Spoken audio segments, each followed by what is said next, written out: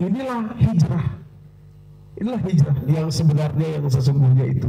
Maka kesimpulan hijrah itu pertama, hijrah adalah mindset shifting, bukan sekedar atribut fisik dari mengharapkan ridho manusia, mengharapkan fit in kepada manusia, menjadi mengharapkan fit in kepada Allah. Ya, nanti kita buka bagaimana fit in kepada Allah itu. Yang kedua, Nah, rupanya hijrah yang sebenarnya itu dimulai dari shifting pikiran kita, mindset kita kepada tokoh-tokoh yang ada di dalam Al-Quran. Nah, ini maaf ya, kadang-kadang orang hijrah eh, atribut fisiknya udah udah hijrah duluan, tapi mindsetnya belum.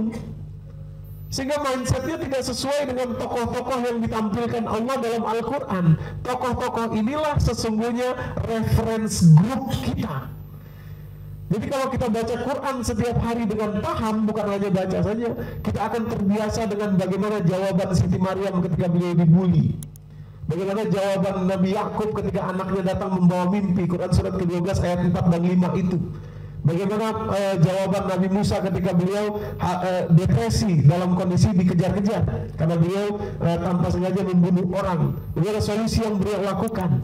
Bagaimana uh, apa respon Nabi Yunus ketika beliau tanpa sengaja uh, bukan tanpa sengaja, ketika beliau marah kepada kaum di Quran surat ke-21 Al-Anbiya ayat ke-87 sampai 89 itu.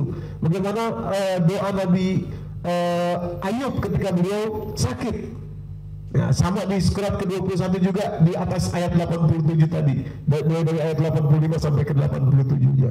Dan seterusnya. Beliau doa Nabi Zakaria ketika beliau menginginkan anak. Ya, jadi ada ada perubahan doa beliau. Quran surat ke-3 misalkan ayat ke-37.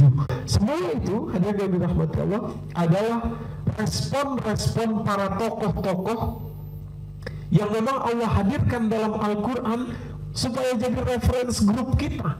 Kalau kita terus berinterak, berinteraksi dengan Al-Quran beserta dengan kepahamannya, beserta dengan isinya, bukan hanya bacaannya saja, maka beliau-beliau itu menjadi reference grup kita tanpa sadar. Oh iya, oh iya, oh iya, oh iya. Itulah sebabnya 75% isi Al-Quran itu kisah. Berulang kisah itu. Cuma 25% saja aturan, hukum, ibadah tentang surga neraka. Cuma isinya 20 persen itu. Tapi 72 persennya adalah kisah yang berulang menjadi reference group.